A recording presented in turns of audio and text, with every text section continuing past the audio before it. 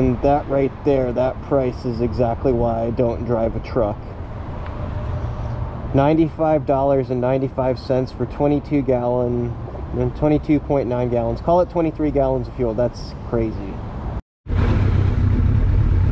Big shout out to Sunoco, even though they don't sponsor me, for providing quality fuels for us.